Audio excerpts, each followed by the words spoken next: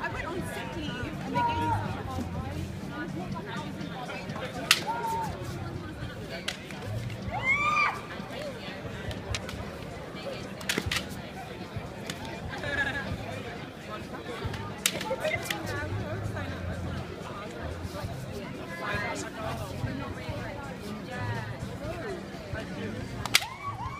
Come here!